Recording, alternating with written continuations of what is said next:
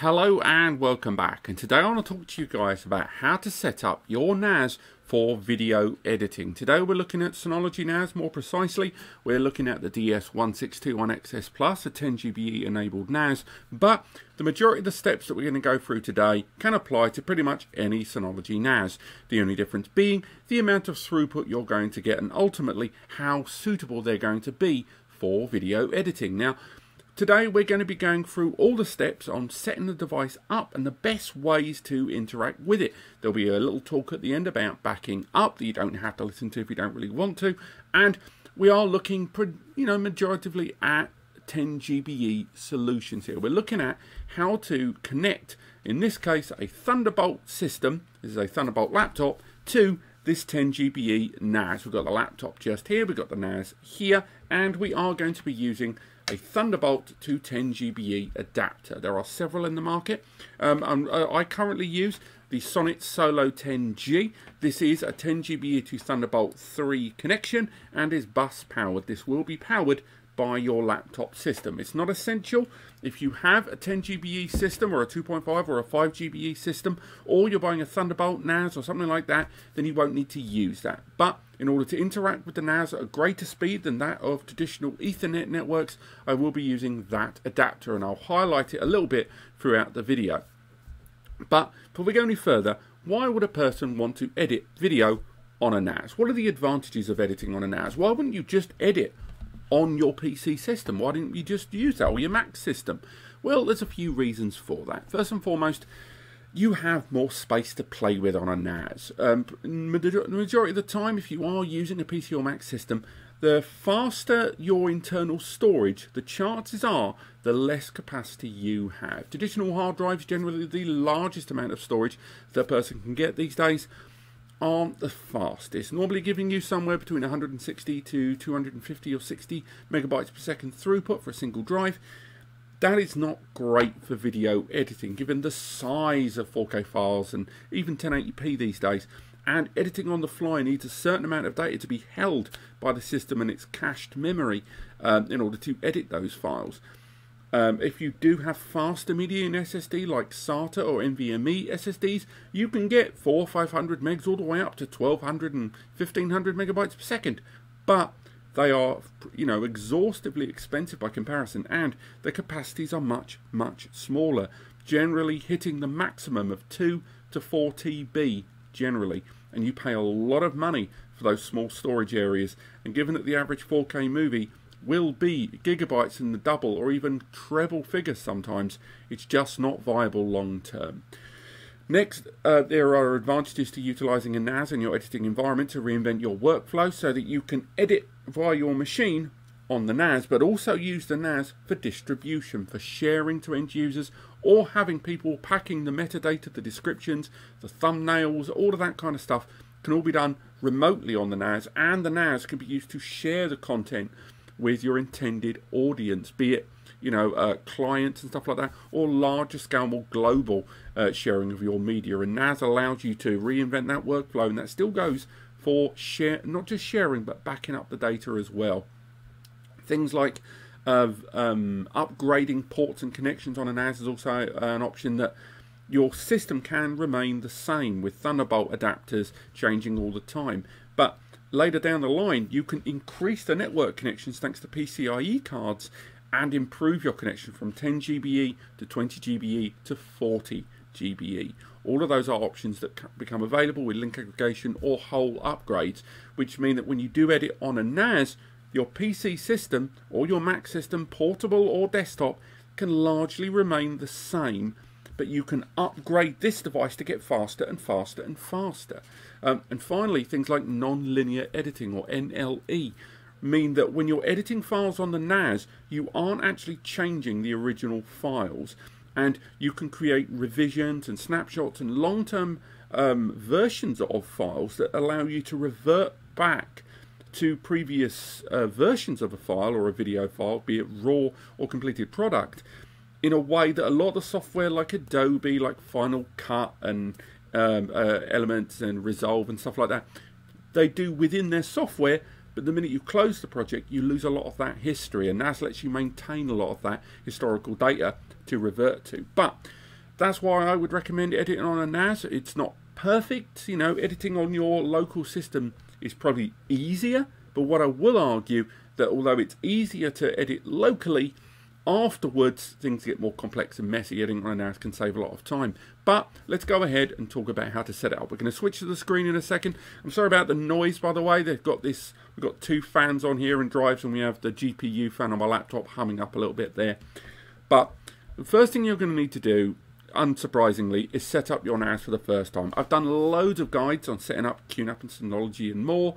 Um, you can just look around straight away and find the perfect way to set up the NAS for you. That re uh, I recommend making sure one, you've got the latest firmware on your NAS, on your Synology. Second, make sure you've got the right RAID configuration because the RAID configuration on your system will massively dictate the overall top speed. Things like the CPU and the memory inside your Synology NAS will play their part. But if you have the right RAID, that's multiple disks all together being read and written to across the whole board, it increases your overall performance speeds. Now, different RAID configurations give you different advantages in terms of failsafe. A RAID 5, for example, can be utilized with at least three drives and you can add lots and lots and lots of drives depending on the size of your system and a RAID 5 allows you to have one drive of failure. What that means is if one of your disks dies or it breaks, because nothing's perfect, then the system will still be able to rebuild the data that was on that disk utilizing the RAID. So make sure you choose the right RAID for you. There are double disk RAID systems, there's triple disks, and Synology have their very own thing called SHR, which is a hybrid RAID system that allows you to mix and match drives. There's lots of options, and it's recommended you go for the one that best fits your needs. You can find it, a lot of my setup guides already online. So do make sure that you set the right RAID for you, both in terms of protection and in terms of performance, because the more drives you add to your RAID, the higher the speeds are going to become. With every drive that you uh, hard drive you add, it will increase the overall speed by somewhere between 1 to 200 megabytes per second, depending on the speed of your device. So if you put one drive in, you'll be lucky to get 200 megs. After that, you can get to 3 or 400, you can get to 5 or 600, you can get to 7, 800, so on and so forth. Now, once you've set up your NAS for the first time, you've installed the firmware, you've created an account that's in your name. So um, you normally will create an admin account. I recommend creating a second account, um, not the admin account for editing. Create a second user, which I'll show you in just a moment. Um, but what we're going to do is we're going to flick to the screen now to a readily set up Synology NAS. And I'm going to walk you through what I would do when setting up a NAS for video editing. Let's flick to the screen. So as you can see here, we're on the desktop of my PC here. Now, if you've installed and set up your Synology NAS for the first time, chances are you have downloaded a tool called Synology Assistant. This is a completely free application that's available from Synology for setting up your NAS for the first time. I would recommend installing this tool because it will come useful later. The next thing you need to do if you are going to be using a Thunderbolt to 10 GBE adapter or any kind of network adapter then I recommend connecting that now. Once you've connected it, or in my case, as you can see, if we go into my network settings, if you've connected your Thunderbolt adapter, it will appear here. So as you can see, right now, the Thunderbolt adapter is connected to my system and it has registered a connection. If we go over to the Synology Assistant and click search, not only will this PC find all the different Synology NASs in my network environment, it also finds this NAS here, which is on a very different IP to the other ones. Now this is one that is being connected via that 10GBE adapter. If we go to the status here, we can see the details, the IP there starting 169 is available there, the 169 IP there. So as you see, it has found that NAS via that adapter. This adapter will provide me with 10 gigabits per second uh, connection. So if we go in there, you can see it's a 10 gigabit connection, which means via this adapter, I can get around about a thousand megabytes per second maximum. There are greater adapters as well, so do stay, you know, stay tuned for those.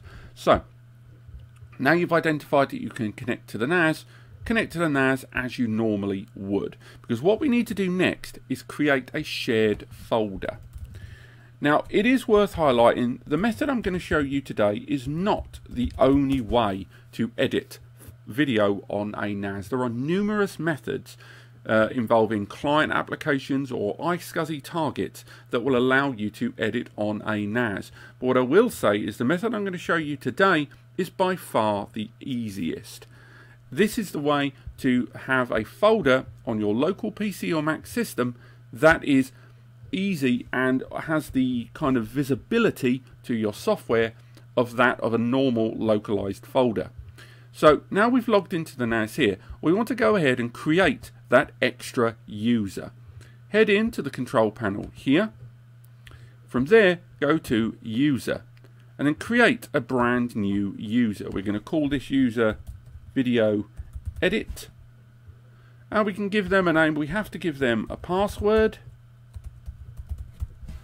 and then we can, you know, add an email address if we want to send them notifications and more. So we've created this user here.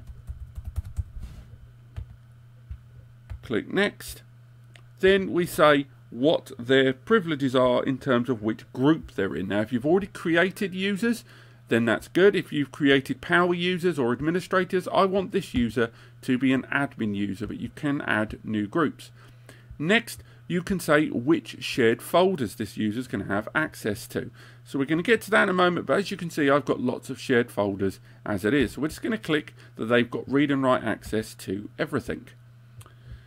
Next, you can see that there will be a storage quota, but at the moment, this user has uh, unlimited storage on the NAS, but you can adapt that later, and you can also say which apps they can access.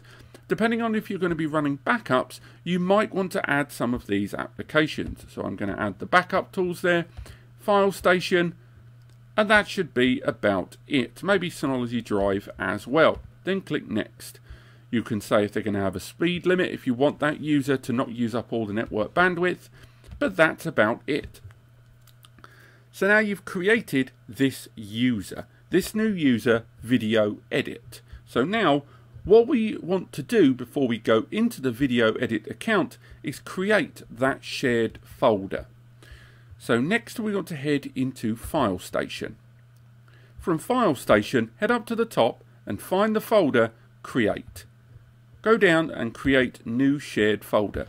Give this folder a name. We're going to call this one Video Archive. We're also going to call it just video arc because I've forgotten how to spell archive like a tool. You can enable the recycle bin if you want. I'm going to disable it for a future video, but I recommend you have it there just to be on the safe side. Then click next and you can ask whether you want it to be encrypted. An encryption key will allow that this folder will only be accessible internally by the NAS or externally with anyone who has a key. If you want to mount that shared folder and you encrypt it, the system is going to download a key locally to your PC to allow you to do it. I'm not going to encrypt it though for this video. Next, you can enable um, integrity checks of that data to happen now or later, and you can even enable limitations on the amount of storage available. After that, click Apply, and it will create this new shared folder. Make sure that this folder can be utilized by the video edit uh, account that you have created but bear in mind that if you've made them an admin like I have, they will always have access anyway. But go ahead and click read write just to be on the safe side. As you see, we've now created that shared folder. And the next thing we want to do is create a folder on our local PC or Mac system that allows us to uh, edit on the NAS with our chosen video editing software. Head back to the Synology Assistant tool, find your NAS, right click and then select the option that says Map Drive. From here, log in with your credentials that you created for this NAS or use the credentials of the user we created. So if we go back into control panel, we can see if we go into users that the video edit user has the power to connect. So from here, we can go back into mapping that network drive, giving them their name, entering that password, and then logging in to that folder. From here we can scroll down to the available mapped network drives and find the folder, in this case Video Arch. Click Next and assign this drive a letter. Now things may be slightly different for Mac users, but it should be largely the same. I'm going to give this drive the letter Q. You can say that you always want the system to reconnect every time you boot up the PC or Mac, and then from there it will ask you to once again add your login credentials so the system knows what to do long term. And that will open your new mapped network drive. So if we go into the My PC folder, you'll see on your own localized PC that a new folder has become available on your desktop PC in the My Computer section. So now you can interact with this NAS just like you would any folder on your computer and it has its own letter. Now what we need to do next is head over to our editing software of choice and there are several options available. If we go into my program section here, the first one we can go ahead with is Adobe Premiere Elements. From here, what we need to do is make sure that the system uh, aligns all of its default caching and default um, video footage from the NAS. Now, as you carry on, your library will get larger on the NAS. If we go ahead and create a new video clip, it will ask us to add the media, whereupon we can go straight into that folder and then it will set it as a default. Go ahead there, it will then say where you want it to find that media and that is where it will appear. If we go into other applications, so going back down to the bottom, and this time we go for DaVinci. So from here we go into Blackmagic, go into DaVinci Resolve, close Adobe Premiere, and from here you can then look at your mapped network drive within this application. Remember, you can open existing DaVinci Resolve um, templates and saved projects and then reassign within DaVinci where the assets are based. So for example, we can go ahead and shut that down. We won't put the update in. We've got some videos we did for a previous uh, piece of content. But from here, you can either open an existing uh, project or a brand new one. If you go for a new project, we'll go ahead and leave it called Project 1. It will then reopen. And from here, you can just head straight into the media pool and add brand new media if you choose. You can go up here and import projects, import uh, where you want all of your data to live.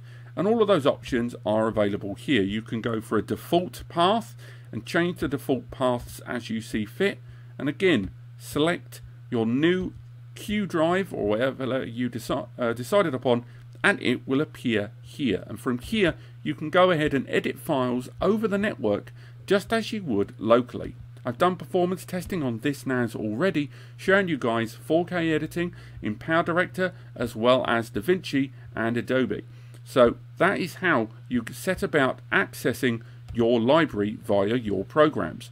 Also bear in mind if you go into the preferences section, a lot of the time you can change a lot of the defaults to make sure they head and pull directly from the NAS. If you're looking to transfer files from your local machine to the NAS, there's other options available to you too. So the obvious first one is of course dragging and dropping files directly into here. You can treat it just like any other folder, so you can go in a folder like I will here in the folder test files. You can select several files, right click, click copy, scroll down, go into the folder you created, and then quite simply paste them in. And then it will copy those files over. And as you can see, I'm achieving speeds already of well in excess of 700 megs there, thanks to the 10G connection on this NAS.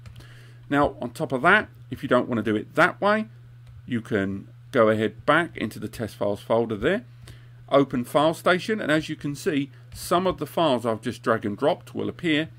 And what you can do via your web browser is drag and drop the files for your NAS directly into the user interface although this is the least user friendly of all the options as generally it will make a slower job of transferring those files over as you see here.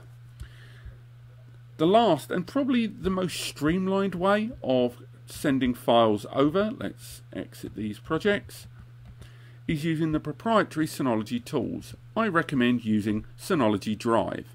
Synology Drive will create a local folder on your PC that can be synchronized for backups and you can synchronize that folder of your archive on the PC using that software and I recommend you take advantage of those. And that's really it. That is how to set up a connection and edit on your NAS for video um, post production and effective video editing over a NAS. Before we go though, it is worth highlighting that a number of you aren't taking backup seriously enough. When you are running lots of these applications and when you are editing files on the fly, it's easy to forget that if the files you are creating here on your local PC live on the NAS, the result is going to be that you don't have a backup because the only copy of those files is going to be on the NAS. So if you are going to be utilizing network attached storage for video editing long term, it's strongly recommended that you have a multi-tiered backup strategy in place. Unfortunately, I don't have an internet connection here to show you, but it is recommended that you install tools such as Synology Drive to synchronize with your local PC and that of your NAS, or as a much higher recommendation, tools like Hyper Backup, which allow you to back up the content of your NAS to the cloud on third party cloud providers, on other NAS with rsync, or on another remote Synology or a local USB drive. All of these are options and will allow you to create a multi tiered backup strategy that runs simultaneously while you're editing on the NAS. And having a rigid multi tiered backup strategy is key. But this has been how to edit video files on your Synology NAS over 10 GBE. All of the steps today can be used on a PC or Mac system and should be relatively similar. Do remember that if you are setting up your NAS, to make sure that the IP that you're utilizing is static. So when you set the NAS up, you'll be given the opportunity to set up the network connection. It's not essential, but if ever you disconnect your NAS, sometimes it can change on the network. So a little tip moving forward is to make sure your IP is not dynamic. You need a static IP. Another tip is to make sure that your MTU, otherwise known as jumbo frame, is set to 9000. This allows the full connection of these devices to be achieved. As you see here, MTU on the Synology is at 9000. If we go to the network, we can go into properties, and from here click config, move the tabs along to, um, where is it, advanced, and find Jumbo Packet. From here, I've got it set to disabled, but you want it at 9000. Once you click OK, the driver will restart, so the NAS will lose connection temporarily. But this allows both systems to be utilizing the full bandwidth available for those connections and comes thoroughly recommended. But nevertheless, this has been how to edit videos on your Synology NAS and how to take advantage of 10 GBE while doing it. Hopefully there's a guide in the description that will tell you more about how to do this in a far more pictorial fashion. And if you have any difficulties doing this, head down to NAS Compares to my free advice section. I will be able to help you. It is only manned by myself, so I apologise if my reply times are a little slower, but I will say that it will give you free impartial advice to help you set up your NAS for video editing. Thank you so much for watching. Click like if you've enjoyed this. Click subscribe to learn more. Visit the guides at Span for your NAS device, and I'll see you next time.